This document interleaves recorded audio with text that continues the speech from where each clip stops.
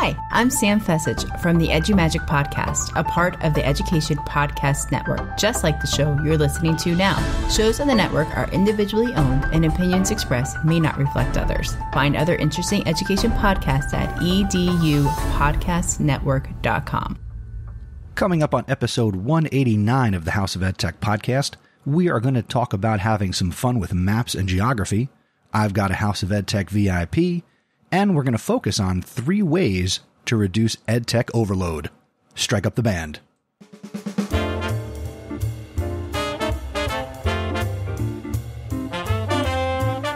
Welcome to the House of EdTech.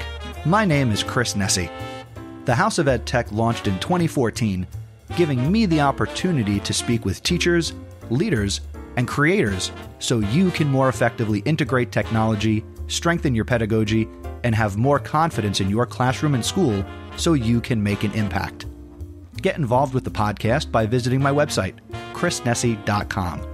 Using technology isn't difficult, and this is where it begins. This is the House of EdTech. And we are doing episode 189. Very excited to have you here for some anytime, anywhere professional development. If this is your first time listening, welcome. Welcome, welcome. If you are a returning listener, welcome back. Let's do this. So, like I said just a couple of seconds ago, we're going to talk about geography and maps, and we're going to talk about a podcast. And my big takeaway for this episode is that you feel a little less overwhelmed because let's be honest, things are not easy right now you know, I, have prepared this episode and I'll be honest, I almost didn't want to press record. I am tired. I'm tired, you know, but I have an obligation. I feel a sense of responsibility to make sure that I can do this not only for me, because quite frankly, I find podcasting to be therapeutic, but I know that as much as I need to create this content, you need to hear this content. You need to share this content. You know, you're connected to me, I'm connected to you, and it's important that we have this relationship, you and I, because we need it. You know? So let us not lose sight of that. Again, now that I've hit record, I am talking with my hands. I've got some stuff going on here in the physical House of Ed Tech, which I'll share towards the end of the episode. I'm making some upgrades, I'm making things happen, which has partly contributed to my depleted energy levels. But besides what I'm doing here at home, I mean, it is it is tiring to be in a classroom. And I'll be honest, I don't have to do a lot of heavy lifting because I'm fortunate enough to be working with a student teacher. Now, does that mean I'm sitting in the back of the classroom doing nothing? No. That's not my personality to just be out of sight, out of mind, but I'm giving my student teacher the opportunity to stand on his own two feet and learn this craft and learn the art of teaching and really experience what the books don't tell you. So, but that, that in and of itself is still tiring. You know, I'm not going to turn this whole beginning of the episode into you know, oh, woe, is Chris, and you know, because you're you're feeling it just as much as I am. You have your own troubles and your own worries and the things that are stressing you out. But hopefully, over the course of this episode, you can take a bit of a break. I don't know what you're doing when you listen to this podcast. And you know what? It might be fun if you let me know on Twitter. What do you typically do when you're listening to the House of Ed Tech? Are you in your car?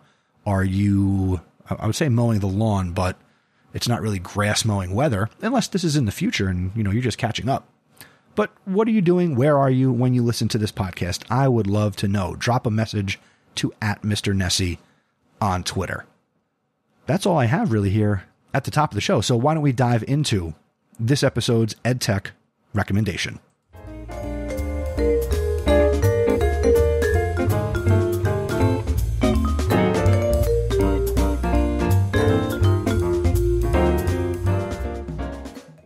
For this episode's House of EdTech recommendation, I want to recommend two things to you.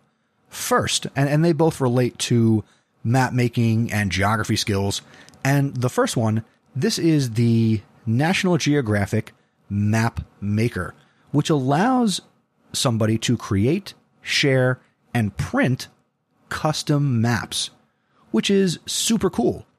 With the Nat Geo Map Maker, you can create uh, custom maps that can display data.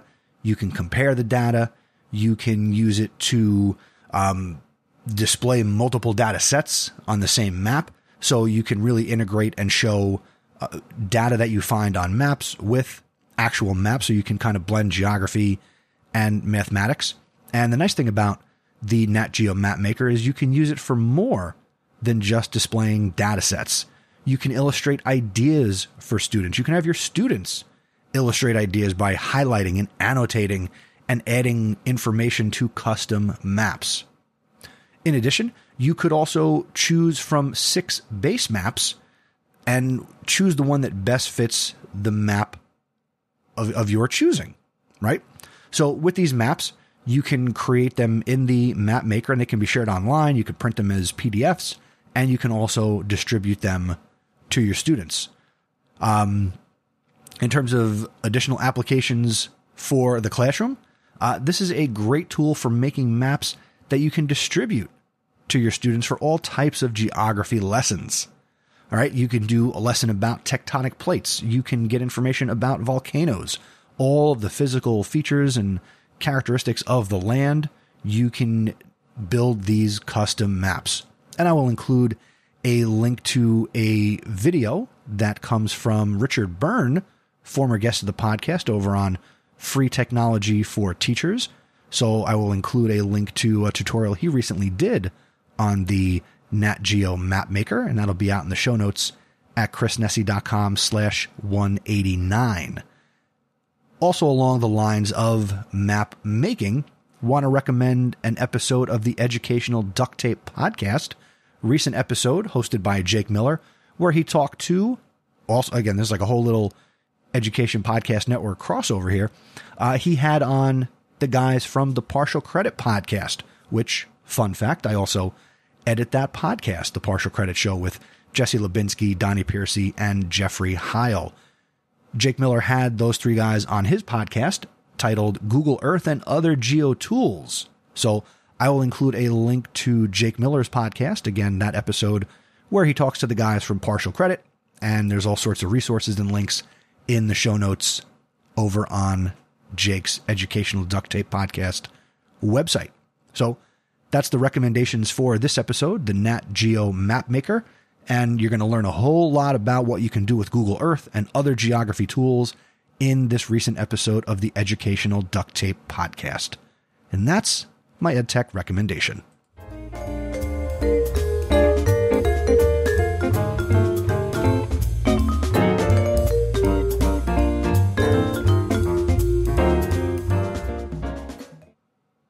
Over the last almost two years now, we have, as educators, transitioned to remote learning. We've done online learning. We have done hybrid learning, all because of COVID 19 and the pandemic worldwide. And because of this, we have expedited the integration of a lot of technology in education. Technology has always been used to bridge the gap between different constraints that we experience as educators. But over the last two years, it has really infiltrated education like never before. As teachers, we have been using video conferencing to communicate with one another. We've been facilitating virtual classes and hybrid classes with students. In some situations now, as things return to quote unquote normal, you might still have to facilitate remote learning for students who might be experiencing quarantine. I had to do that earlier this year where I had one student for a number of classes reporting to a Google Meet from home. It was interesting. It was quite engaging. But I'm glad I've only had to do that one time so far. Through many apps and different programs, things can be made easier. We know this. But that can snowball and present new issues, like technology burnout. With the goal of keeping education moving forward, schools and teachers are pushing the use of different apps and programs. However, this puts an increased stress on teachers like you and me who need to use these products and pieces of software, parents who now have to keep track of these programs, and students who are trying to stay afloat, even still in this quote unquote post pandemic world. Education technology, as we both know, is well intentioned. It often increases access and it has so many great benefits. I've been talking about the benefits for 188, now 189 episodes of this podcast. However, these can also create technology burnout and technology overload. Of course, we can't stop using technology, and we can't move to paper packets, right? The goal is not to go backwards. We're going to continue to move forward. The goal of what I want to share here is to help you, and it's going to help me, reflect on the technology that we are using and the technology that our students and our students' families are being asked to use. When everybody is experiencing overload and burnout, we need to consider how we're going to balance the many aspects of education technology as we move forward. We have to be strategic and we have to be thoughtful about the technology that we use. This is not a new concept. Even with the best intentions, we have to focus on the impact. So here are three things that we can consider to help reduce our technology load and prevent burnout and overload. Number one, let's check in with our students and our families. Everything is still kind of constantly changing. Again, I got the air quotes up. Things are kind of getting back to normal, but at a moment's notice, things can still change. It seems like every week, you know, things are different. It's almost not, well, it's kind of like a perpetual Groundhog Day. We're finding new ways to complete the work with our students. We are finding ways to integrate the technology from the pandemic to still create exciting lessons. Technology can be a helper and a hindrance to this work. Sometimes the most well intentioned lesson, and I've experienced this, you know, when we're using technology, it can backfire and we don't know why. To avoid this, let's communicate. We have to find ways to effectively check in with our students and their families. I've talked in a previous episode about talking points, and I am very thankful that my district is leveraging talking points for communicating with students' families. I do not know why this technology wasn't available sooner, but certainly it's making it super easy to reach out and connect with the families of my students. We need to continue to use tools like this, and we need to see what is working, and we need to eliminate what's not working. While this does put more on our shoulders in these uncertain times, there's always going to be a bit of uncertainty, right? Even the smallest changes can have a huge impact on our students and their learning. If they need more technology, we can find new ways to include it in our classes. If people need a break from technology or to streamline what we're doing, we can do that too. As educators, you and I are constantly adapting to the moving and rising and falling tides. Number two, let's take stock of the ed tech that we're using in our classes there are many ways for technology to come into the classroom. Some classes use some sort of learning management system to keep the course organized online. Other classes use different quizzing and gaming apps to bring learning to life. In staff meetings and at professional development sessions, technology is often presented as an opportunity for teachers to spice up their classes. With every best intention, these programs and apps soon are piloted or become a regular part of the classroom. However, often without thinking about it, we're soon using many different forms of technology at the same time. Now, especially with the increase of online and remote classes over the last year, technology is used to communicate with students, teach students, contact families, and everything in between. But do we know just how much technology we are requiring in our classes? We need to ask ourselves some questions. We need to think about what we use when it comes to our LMS or Google or Microsoft. What are the tools that we're using? I would encourage you to make a list of the t- technology that you use and really reflect on it. And ask yourself the following questions. Number one, is it possible for my students to be successful learning all of this technology in addition to the actual course content? Number two, do any of these apps or tools do the same thing as another app or tool? Number three, what is the learning purpose for each tool? Is there overlap? Number four, are my students using any of these tools in other classrooms or with other teachers? And number five, does each tech tool contribute to my course objectives? Now, you might decide to take out a pen and start crossing applications off the list, or you might decide you have room for more. Doesn't matter where you fall. What is important is that we are both cognizant and intentional about each technology decision that we make. And the last thing, number three, as we're talking today about preventing overload and burnout with education technology. Number three, provide a balance for your students. Right now, it just seems like everybody is on overload. We've got students returning to school. Again, I, have talked about this on Podcast PD, I've talked about it here. My ninth grade students haven't had a normal year of school since they were in the sixth grade. It just, it still blows my mind. Our students and our students' families are overwhelmed. You and I are overwhelmed. That's what I led off this episode with. Our schedules are only returning to normal, but still, most days I still feel like, what am I doing? My head still feels like it's spinning.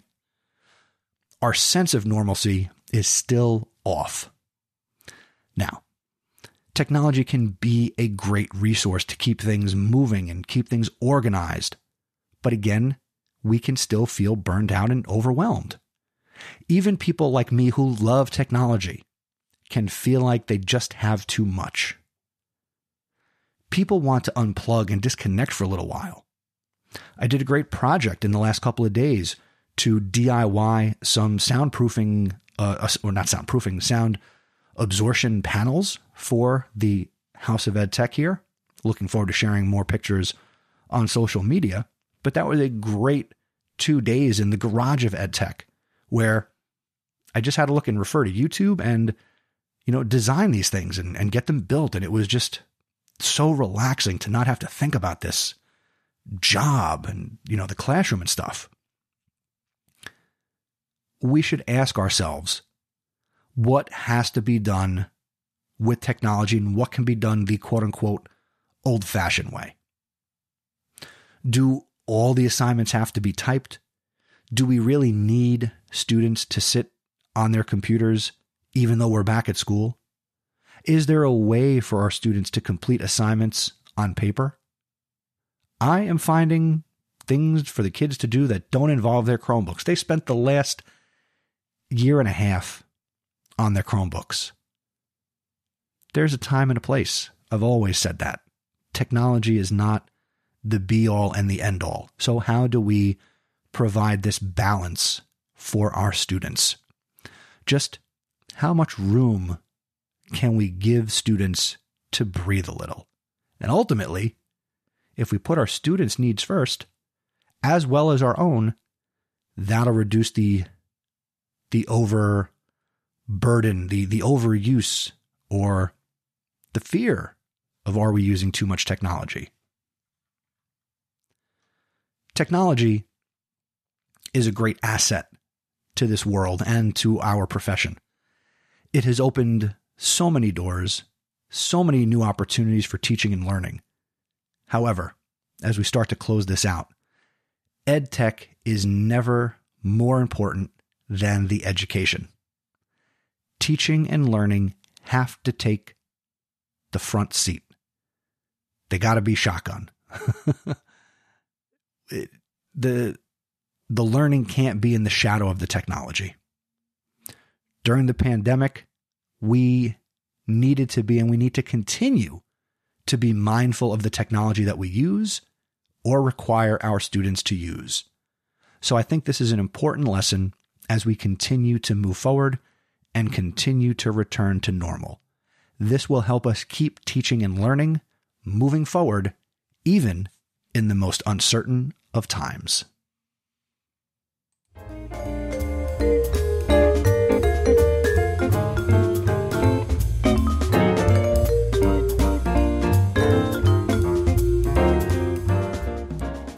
And now it's time for Just Give It a Try.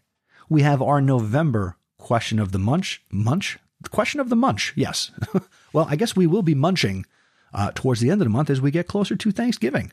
But let's talk about the question of the month, which was What are you thankful for? And I've got a couple of audio responses and a couple of tweets to share with you.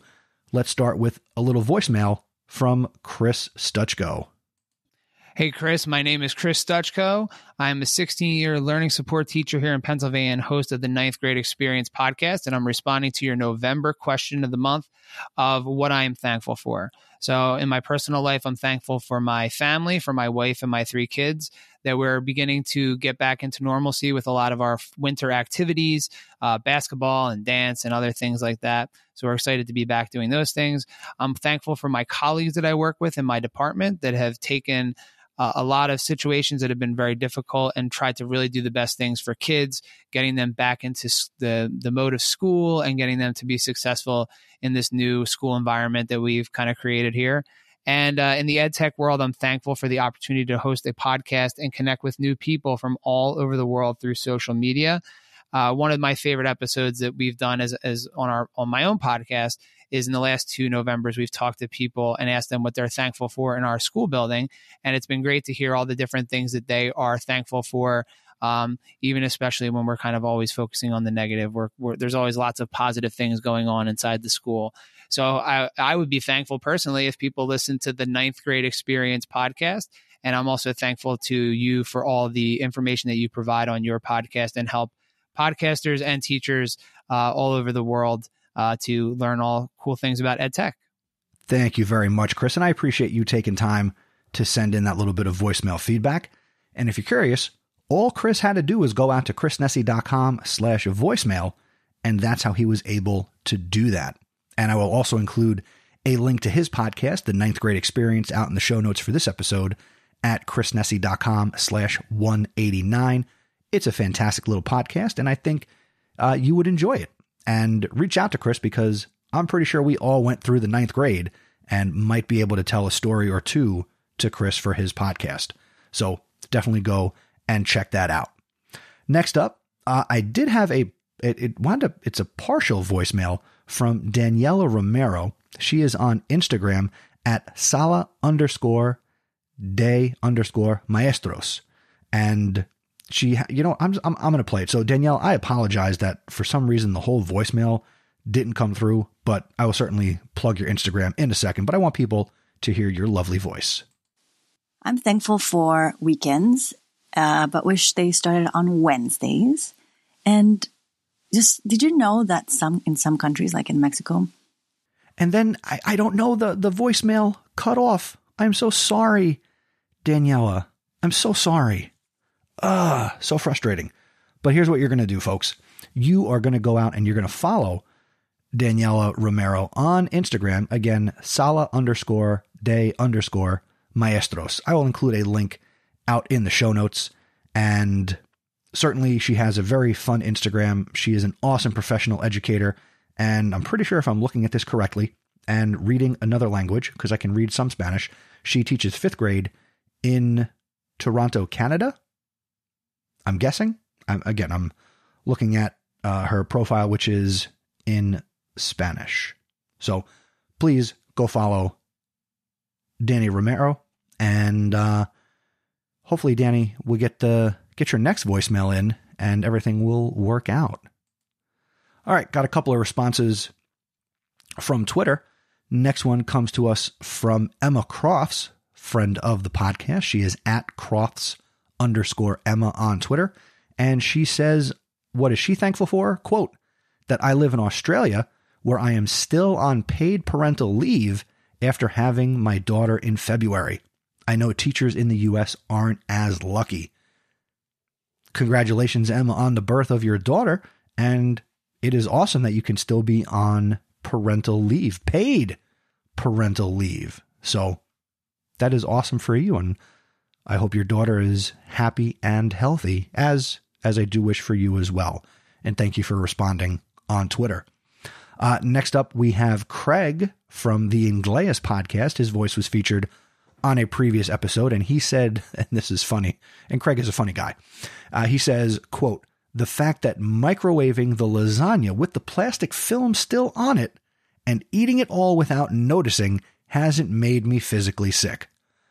Craig, I have no idea how you pulled that one off, but good for you. And uh, make sure you're following Craig on Twitter. He is uh, at Mansion Twit, M A N S I O N T W I T. And also check out his podcast, the Ingles Podcast.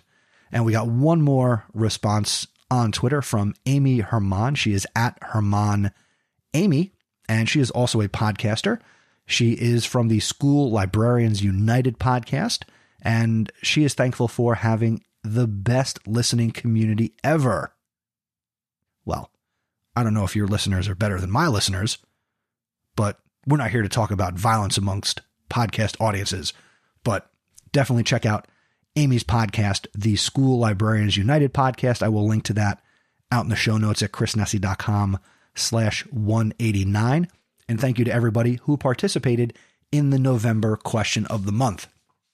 Now, you might be thinking, what's the December question of the month? Well, we're going to do things a little differently. For the December question of the month, I invite you to participate in the House of EdTech app SmackDown. The 2021 SmackDown will be the eighth annual SmackDown. This is my last episode of the calendar year, and it's going to come your way at the end of December. And you're going to want to get your responses to me by, as I pull up a calendar that is not going to move quickly. So I'm just going to continue to talk about the calendar, and I'm going to slide over on my iPhone and open up the calendar app, and we're going to change it to the month view. Hope you're enjoying this. This is compelling podcasting. Uh, let's see. This is supposed to come your way on December 19th. So I am going to look to have your responses to me by, let's say, December 4th. That'll give me a couple of weeks. So you're going to want to go out to chrisnesi.com slash feedback or chrisnesi.com slash voicemail. And the whole point of the SmackDown is for you to share your tip, app, what you have loved about education technology here in 2021. And then the calendar changes over and we keep going. Don't worry about repeating stuff if you're a long-time listener. Just send me a voicemail. I mean, you could email me, but as I like to say, you take your chances with the impression I will do of you if you send me an email. So send me a, a voicemail. You can record it, you can attach it to an email. If you're not sure how to send me audio, reach out to me and we will get that recorded. I'll record it with you. We'll have a little conversation. It will be a whole lot of fun. So that's the December activity. So we are prepping for the 2021 House of EdTech app SmackDown, where you share your favorite EdTech tips, tools, and recommendations. And I'm very excited to bring that episode to you at the end of December. Now, let's meet this episode's VIP.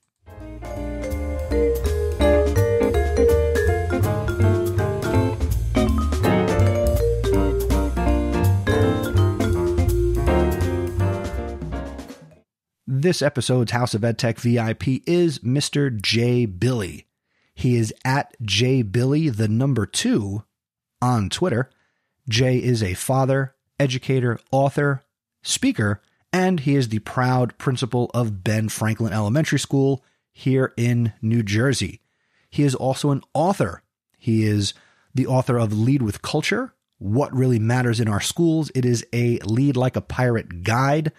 Jay Billy is one of the best people I know in education, and the reason I'm making him the VIP is twofold. One, he's not been a VIP before, and he's an awesome person who needs to be shouted out and celebrated. But his Twitter account was recently hacked, and he had to basically start all the way back at the beginning. So all his followers are gone. So he's trying to rebuild his social media presence on Twitter. So if you weren't previously following Jay Billy, make sure you go follow at Jay Billy, the number two. And if you were following him, make sure you go and re follow Jay Billy. And congratulations to you, Jay. Hope to see you soon because you are a House of Ed Tech VIP.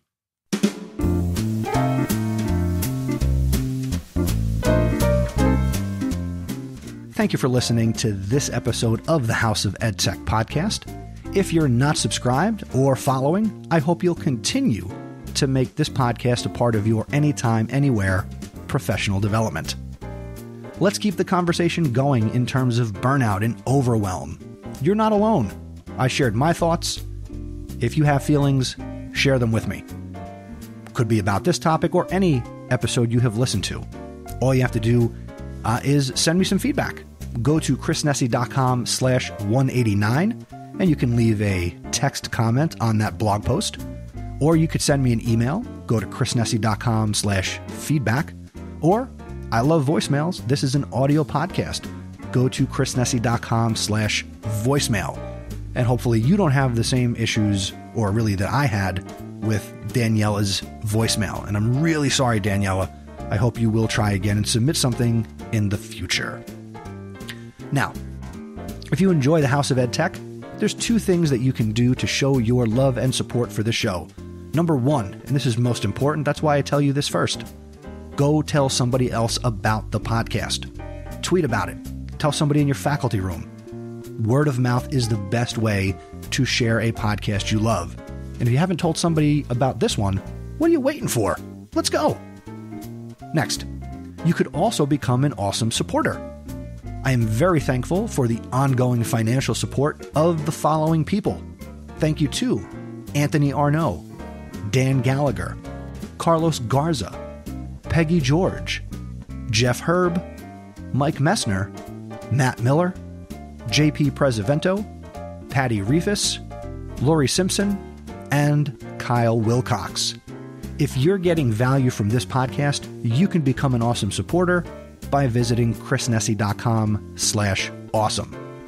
The Awesome Supporter Program is powered by patreon.com, which allows a consumer of content like you to support a creator of content like me. So it's this whole value for value thing. There's lots of options over there, and if you're looking to support a creator, maybe I'll be the next creator that you choose to support. Thank you so much. The next episode of the podcast is going to be episode 190, and that's going to come your way on November 21st, 2021. Until next time, thank you for learning with me and reflecting with me. And remember, using technology isn't difficult. Just give it a try.